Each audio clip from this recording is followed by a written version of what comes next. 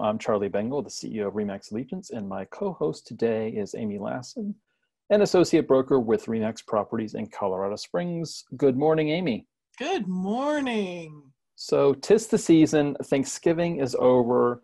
Uh, we're now into December, and it's actually one less week of shopping this year because Thanksgiving was so late. Um, so, we are in the midst of business planning, or we should be. And yep. that is something that we want to discuss uh, today is business planning. Uh, I'm going to be doing my business planning class. I don't have the dates um, offhand, but in the next couple weeks to uh, our associates at Remax Allegiance. And we're going to be doing some different things this year, so it should be uh, rather exciting. And how we're going to be doing it is going to allow us to do some easy tracking of transactions and measuring as we go through 2020. Yeah. So we'll um, I'm looking forward to that. But today we we almost want to simplify things a bit, right? Mm-hmm. Think in preparation for that, or if you're watching this video in March of 2020, right? There's never a bad time to plan. No. And business planning does not have to be super complex. So I think that's a decent intro um, to where uh, do you want to start? You know, actually, I want to start with a conversation I had yesterday with a mastermind at my brokerage. I noticed that we've, we've been talking about business planning for months. Um, mm-hmm. I started teaching in October. Right. Um, we've been through it quite a number of times. I've given them two different templates. Okay. We have three hour hand holding walkthrough, lots of visioning. They enjoyed it, they were inspired for the last two weeks in a row, the deadline has been bring your plan. We're going to discuss them in the mastermind, right? And as of yet, they still haven't done it. Now they're busy and they've got kids, and I get all that. Sure. I get all that. But I said to them yesterday, is there any chance that you're not inspired to work on this? There's something about it, right? You're faced with this task and you say, ooh, done, we'll get it done. Right. And you show right. up and you didn't do it. Why didn't you do it? Yeah. I said, and here's what I want you to get if this document or if this process is not serving you, let's be honest about that. You know, just because Charlie said you need to have a business plan. Right. Right. So, are you going to use it? Is it going to help you? Why are you not doing this? So, here was the recommendation I gave them yesterday. Mm-hmm. Yes, they need to finish it, but I said, here's the thing play with it and play with it and play with it. Touch it every single week. I want you to touch your business plan. I don't care if it's five minutes. Pull it out, look at it, read it, yeah. five minutes a week until you get comfortable, and then it can be monthly. Mm-hmm. But here's what you're going to discover it's either going to inspire action in your business or it's going to inspire revision. You'll oh, either discover. Right, right. You'll either discover that yeah, it is a good tool, and yeah, it does help me, or mm-hmm. you know what, this thing is useless. Right. You can fix it. The requirement is five minutes a week look at the ding dang thing. Yeah. My friend Elizabeth makes hers on an 11 by 14 piece of paper okay. with a pen. This is her business plan. Yeah. She has a stack of them. She carries them all with her to group. Mm-hmm. You know, mm-hmm. she's got all of her years. And she loves that thing because she touches it all the time. Yep. Very, very intimate to her. So that would be my recommendation, no matter so, how you create it. So what do you tell agents that just don't see the value? I don't want to, you know, I don't want to do the one pager. I don't want to go to a class. Um, I'm okay with wishing, waiting, and hoping. I've referred to those agents before, and yeah. My mantra has always been, and I was talking to somebody about this 20 minutes ago. If the agent's happy, I am happy. Right. Right. If the agent right. wants to grow, then let's do it. Sure. So, is wishing, waiting, and hoping okay, or should you at least have a one page plan to map out how that's going to work in 2020? Well, if they do a one-page plan and they never reference it again, and they forget that they it's did, kind of a waste, right? Maybe. Although you know there are plenty of uh, like motivational trainers that say if you wrote down your affirmations or your wishes or your dreams or your goals yes. and lost the piece of paper, it would be way better than not doing it at all. Right. Agreed. Agreed. And, and you'll fumble upon, you'll stumble upon it two years from now and go, yeah. oh, I did. Well and you know and, and we've talked for some time about the importance of you know writing down your goals every day. I've got mm-hmm. clients that'll be like i read them every day. I'm like what if you wrote them down every day? Right? Sure. we talk about having them you know on your mirror and this and that. Anyway i don't want to go off on that tangent yeah. completely but um something is better than something nothing i better and i would say touching repetition familiarity all of it will get better. You know, yeah. I went from being one of those wish, wait, and hope people to having business planning be one of my favorites. I mm-hmm. absolutely enjoy it. I, I revise my plan throughout the year. I do it for recreation, you know, mm-hmm. with a cup of coffee or a glass of wine. Do it again. It's just fun, you know, because it's almost like I think it's the way mathematicians feel like magicians. Okay.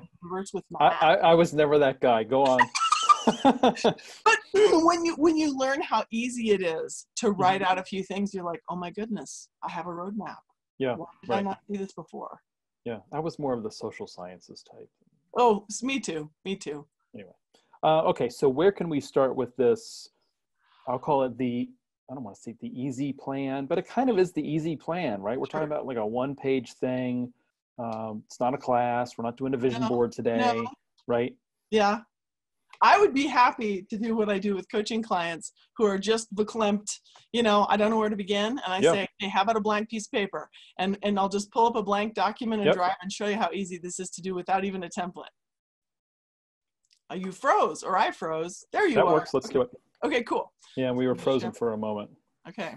Well, so can we pick um, a nice healthy number that would suit most people and maybe inspire most. And I think often of 200 GCI, depending on your market, sure. is that too high or too low? I think I think 200 is fine. Okay. So what often people say, I don't know. And one of the things that I love when uh, you and I both heard Tom Ferry, I can't remember which event, he said, next time start with how much are your business expenses? How much are your personal expenses? Right. What do you need to live? Yep. How much would taxes be on that? Great there's your number there's your bare bones number. Um, but i think uh, that also stymies people because they're like i don't know i'm not working from a budget. Right. Right? So yep. i like to start from a number that will be surprisingly impressive like okay. really? I could make yep. 200 and then yep. show them how to do it. So you and i both know 200000 you divide it by the average commission that you're going to earn. Correct. And but, in I was just going to say, let's use 10K to make the math easy. It makes it super easy, right? Yeah. So 10,000. Yeah. So if we divide by 10,000, we can even be really specific because I noticed that when I use shorthand, my clients later say, wait, what does that mean? Mm-hmm. Right? Divide by 10,000, which is the average commission, equals 20 sides or 20 right. transactions, right? Yep. And by the way, we're not counting rentals, right? These are buys or listings sold. List, yeah, right. list or purchase. Yeah. Yep. So um, we, you and I referenced Tom's math, but I think a lot of coaches and trainers use similar ratios. Mm-hmm. How many people are going to have to talk to? How much lead generation are you going to have to do to generate right. closing? Right. right. And it's anything from 40 to 50 mm-hmm. conversations about real estate. Probably yep. depends on your skill or your yes, market. Absolutely. So if we want to start high to be conservative, we can mm-hmm. say 50 conversations is going to get you a closing, right? Okay. Yep. So 50 to 1 ratio. And so let's say 50 times 20 equals a 1,000, right? Right. Per year. It seems like a big number, but as we're going to see in a minute, it's really not. Right. I'm going to get conversations. I'm going to put all in all the longhand so nobody gets to be confused. Maybe we uh, post this document with our video and then it's like you can have the whole thing. So 50 times 20 is a 1,000, 1,000 conversations a year. Divide a 1,000 by 11 months. Let's be yep. realistic. You're not going to work every possible hour, right. right? So now I actually have to get out my uh, calculator because I didn't do this in advance. But that's cool. You can see I'm doing this live. I did not prep this. This is a blank piece True. of paper. Yes. Divided, oops, by 11 equals, okay, so 90, right? Or 91 if we're rounding up. So sure. 91 mm-hmm. conversations per month divided by four weeks equals 23. Right. 23 conversations per week. Now, what we have to figure out is how you're going to do this. Sources of conversations. Mm-hmm. Okay. So, sources of conversations this is your marketing, this is your lead gen, this is all the things that you're going to do to get in front of people so that you can talk about your service. Okay.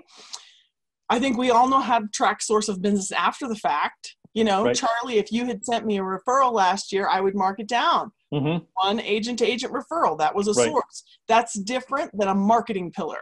Mm-hmm. Did I focus for 2020 on chasing other agents and making sure that it's a huge pillar in my business that I get a lot of agent to agent referrals? You got to decide. So there's a difference between tracking your sources of business after the fact, which we all need to do, and making a proactive plan for chasing sources of conversations, right? Got it. So sources of conversation slash marketing pillars. This is intentional. So we all talk about, you know, the strongest four probably that you should be chasing. Everybody's going to have their own. Hopefully, you know in your mind. If you don't have a good idea of where you're going to be strong, trust me and Charlie, uh, we'll give you a guide. So, what would you say is number one, Charlie? Sphere of influence. Sphere of influence. And I love to define it because I'm amazed at how many people push back on that. And they're like, mm-hmm. well, I talked to my past clients. I'm like, well, what about your past high school buddies? Like right. all the humans, all the people who know you, that's sphere. So here's my favorite definition of sphere of influence anyone who, if they bought or sold a house without you, you'd be pissed. That's them. Put that's them a, on your list. That right? is a that is a great definition. My definition is anyone that you know that does not have a real estate license. um, so different coaches have different definitions, but That's we're heading so to the same outcome. I love and, that. And by the way, um, by tomorrow at the latest, our memory jogger will be uploaded to the allegianceway.com under checklists. So the memory jogger is like a three page document and the idea is it jogs your memory the name of your dentist, your high school friends, right? Who was on the football team with you, whatever, right? And yeah. the idea is there are people that we should be contacting that we've forgotten in this sheet that again, theallegianceway.com, click on checklists starting tomorrow and it will be there. You can download it and grow your database by going through the memory jogger. Oh, so valuable. You know, and I love it that Charlie, you and I have different definitions because those are memory joggers in and of themselves. Right. So, yes, please take full advantage of the Allegiance Way and use the memory jogger to grow your database. So, what would be another great source of conversations, meaning a very intentional marketing pillar? Past clients? You consider that separate? To me, that's sphere? a subset of sphere. Okay but we could decide. So here's the thing, though, because my friend Elizabeth Putter says um, current clients is a separate pillar to her, and then I say, okay, define, right? Okay. So I would ask you, how are you treating your past clients different than your sphere of influence? That the marketing pillar would be completely different. And if it's hmm. not, then I would just say they're a subset of that group, right? if it doesn't right. require a different approach. So I would. There are some people that do client events and just invite and just invite past clients or those that have referred them right? So you get into the sphere but it's not so no i'm i'm i'm with you we can include so for our purposes today we're going to include past and current clients under sphere of influence. So it really is that loose definition of everybody that you know whether they right. bought or sold from you before right because we haven't defined what your marketing plan is going to be if right. your marketing plan is only spending time with people who actively refer you, all right, we can work on that in a minute. Um, mm-hmm. I would say you're missing opportunities. You know, in the right. past, some of my best referral sources have been people who never never bought a house from you. They stayed in their house for 17 years. They're not required sure. to move. This is what I say to my newbies all the time. Your job is not persuade people that it's time to move. Right, right. That is not it, right? It's to be there when they're ready and to have a service model that will be attractive. Sure. So yeah. Okay, um, cool. So, what would give, be another great source? I was just going to say, give me another great source of marketing or conversations. Well, I think some of the basics are like open houses. Mm-hmm. And um, for me, door knocking is involved in that, but it yes. could be separate. So for me, door knocking becomes a part of the open house plan because mm-hmm. here's the thing those of those of you listening who are rolling your eyes at open houses um, and i've been oh, that gosh. agent please, please don't roll your eyes at open houses well but i've been that agent i've yeah. put up the signs i've baked the cookies and i've sat there and been bored i've had one person show i've had no people show so here's what i want you to get when i say this is an intention this is a focused marketing pillar.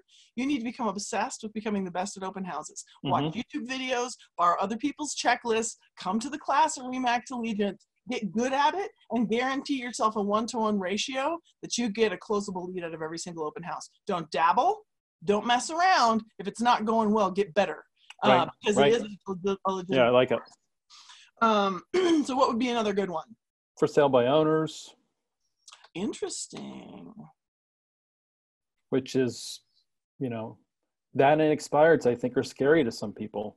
Uh-huh. But you know, we're the only thing that's scary to me is dabbling. If, if you're gonna, right. you know, approach two FSBOs and say it didn't work, that's not an intention. Yep. That's not building a marketing plan around a pillar. Okay. So, so when you say it's going to be a pillar for 2020, what is the minimum expectation of you going all in level 10 before you say, you know what, this clearly isn't for me, or it's not working in my market? What's the minimum time? Because I agree with you. Well, you know, I, I called the those expireds this week and I didn't get anything. You know, Mhm. next week I think I'm going to do something else.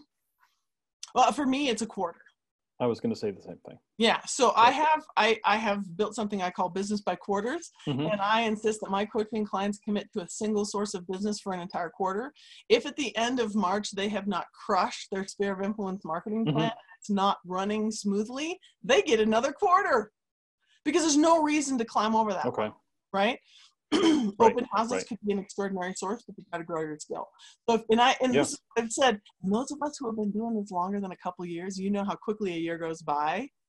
So if you slowed yourself down and you mastered four in a year, you Mhm. might say, "But Amy, that's holding me back." No, it isn't. It's getting you ahead. Otherwise, you're going to dibble and dabble, and a year from now, you won't be any better at any of these. So, I'd give each one a quarter of dedication. I like that. Yep. Um, FSBOs, another um, one is geographic farming. That's a whole different. Mhm.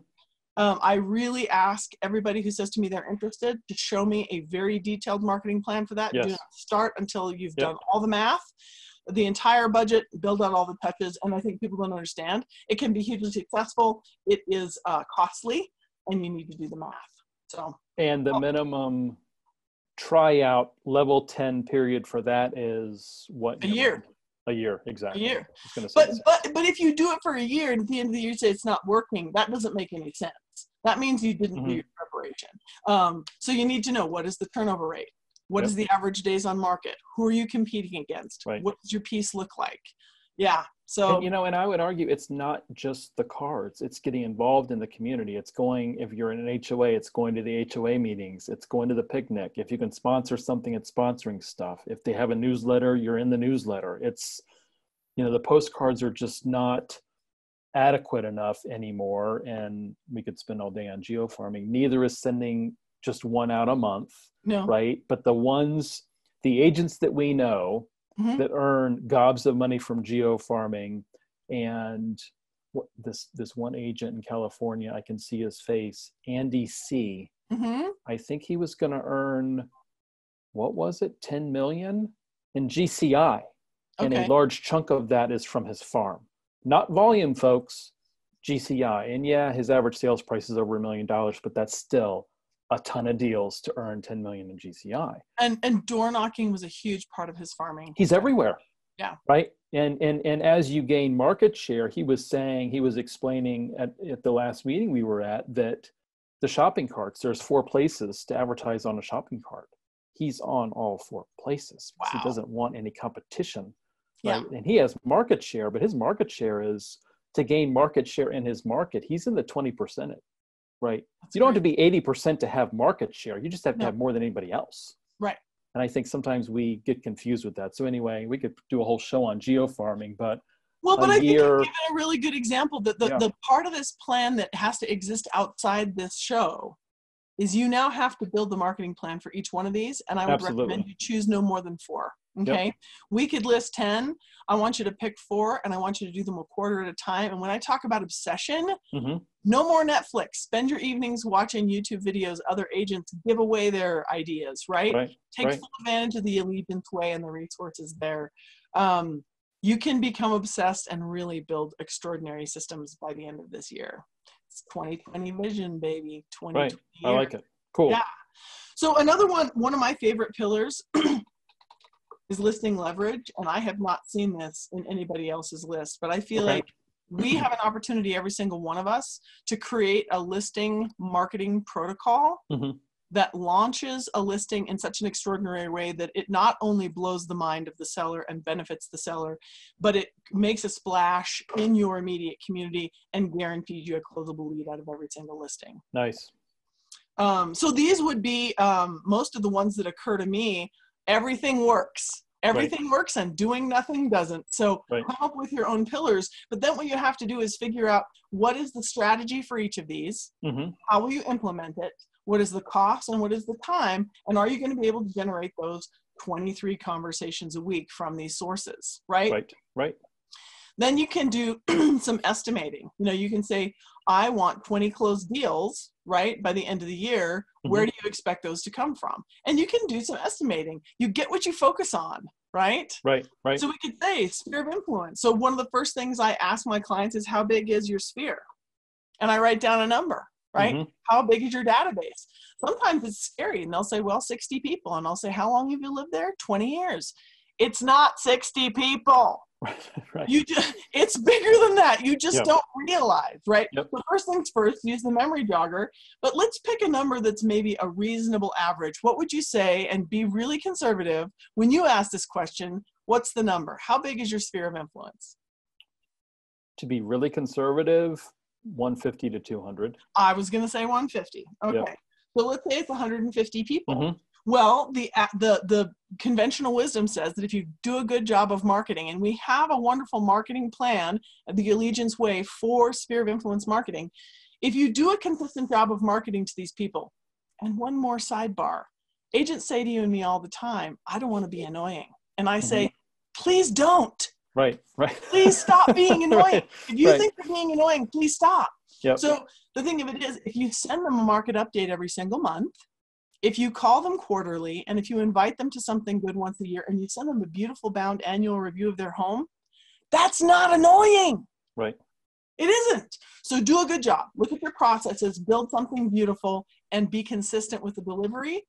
And the conventional wisdom is that 150 people will yield you a 10% return, right? right. So that's 15 closings. Yeah, we holy are two thirds of the way home. Yeah, so I wouldn't overthink the rest of this then. I might ask you to only pick two others, mm-hmm. right? Because we're right. almost there. Yep. So yep. does that make? I hope that makes sense. Um, the problem is once we once this uh, show ends and they're on their own, they're left with their own mental demons. Um, you know, you probably need a buddy. You might need to be in group coaching. There are ways to keep you in motion. You know, when you get inspired by a conference or a class, the challenge is you go home to being self-employed or relatively unemployed. I think a lot of us wake up unemployed every day, right? Reinventing our business every day. So I encourage you to seek the support that you need to follow through on something like this. You build out these strategies, you transfer them to your schedule, and then you've got to have somebody hold you accountable probably. What do you think, Charlie? What would you say next steps is when you have something this simple, now what? Oh gosh, so a couple things really jump out at me. One, you know, I did the math wrong in my head. We are three quarters of the way there just by using a level 10 database, right? I mean, we're right there. Right there. And, you know, if you're getting a lot of listings, your open houses from the listings are probably going to make up the difference to be honest right? right? i mean then you're done you know the rest is gravy so it's time yeah. to up the goal you know to i'm going to delete those oh that's so funny you're up in the you goal know? and i'm deleting sources yeah. because so, I, I, agree with you what if this was it yep because right. what's right. wonderful about this is it's much more focused and i will tell you focused will take you much further than dabbling yep and we have different ways that have already been uploaded to the allegianceway.com of ways to make it easier to pick up the phone. We've been joking, I think we joked on the last show, that the phone is lighter around the holidays, right? Come February, the phone gets really heavy, right? Because we have this we have this mental block of, you know, you I need a reason to call someone. A, you really don't, right? If you make it about them, you're checking up on them. Yeah. But I've been doing this long enough to realize that most agents don't buy that. They just cannot get over that hurdle. Mm-hmm. So using the annual letter to clients that reinforces what you do for them, um, you know how you're available to them, your specialties, where you work, mm-hmm. um, the fact that whether they're if they know somebody moving anywhere in the world, if you're with Remax Allegiance, we have agents in over 100, what, over 120 countries. Yeah. So, you know, we have referral partners there.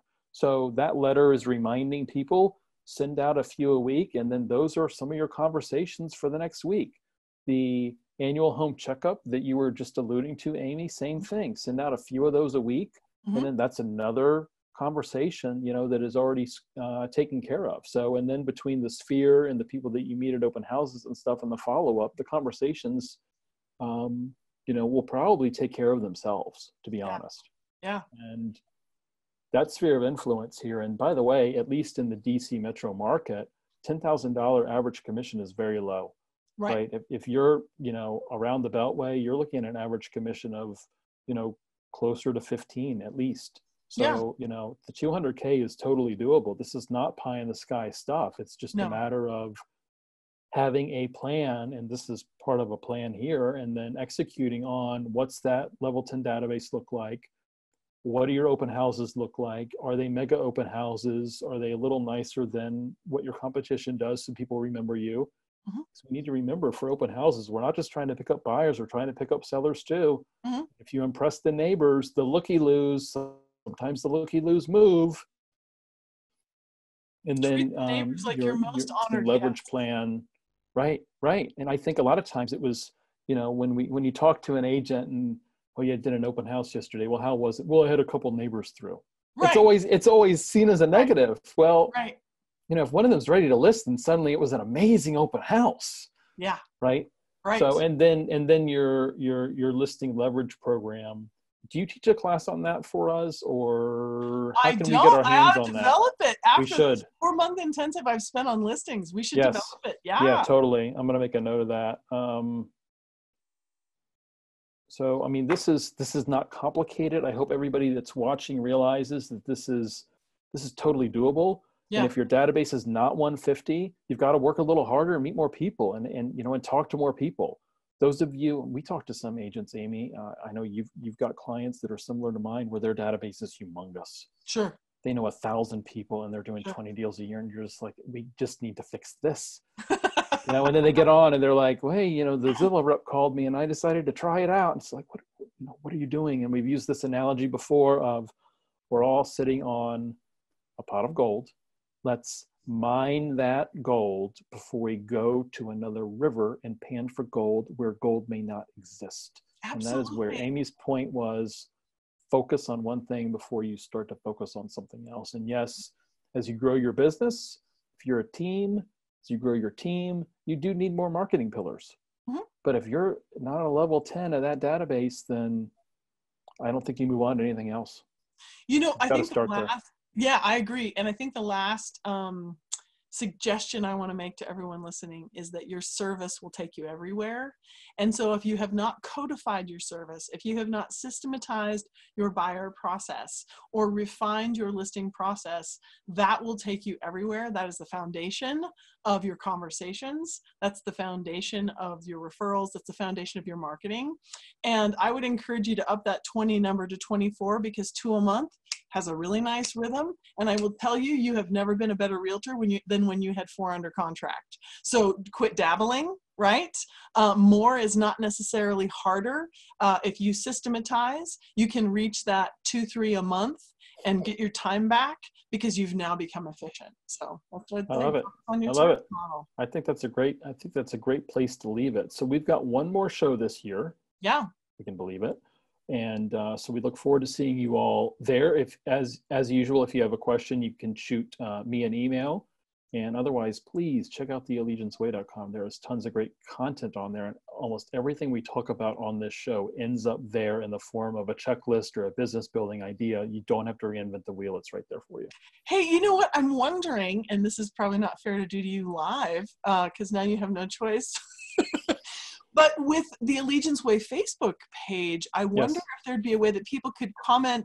You know, they can co- you can see the show again. It's it's, Yep. it's there. So comment on things that you hope we'll cover in the future, right? So oh, the oh, uh, we would love that. Yes. yeah, the sub- Allegiance Way you all is all see. Yep. about making us better, right? The Right. Allegiance Way is all about promoting the professionalism in our markets. So please, please comment and tell me and Charlie things you hope we'll cover in the future. Absolutely. It makes planning that much easier, to be honest, right? All right. Oh, uh, always good to see you. Thanks for your time. I think this was uh, really excellent. Those of you that want a more in-depth plan, join me at my business planning classes. Otherwise, Please do. Well, you uh, have to have it. Yeah, this isn't done. Yeah. But yeah. All right. Good to see you. Take care. Thanks. Bye, everybody.